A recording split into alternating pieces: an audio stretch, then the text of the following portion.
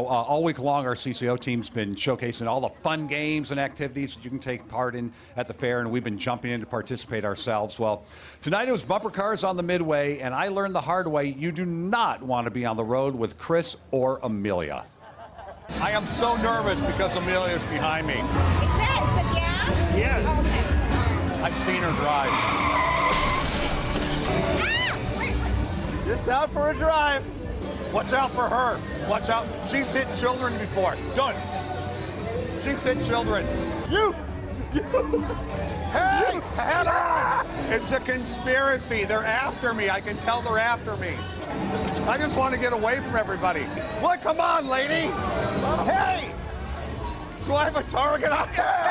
What are you doing? I'm going to see a chiropractor and then a lawyer. Like it now? What's that remind you of? Our fence at home?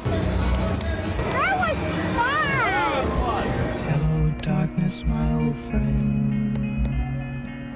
I've come to talk with you again. I had a good time. I had a good time. Woo! I have a lawyer and it's better than your lawyers. All right, we thought it was all fun and games. I'm sorry, man. We were just having fun as bumper cars, dude. Took a lot of joy in that, didn't you? I did until this.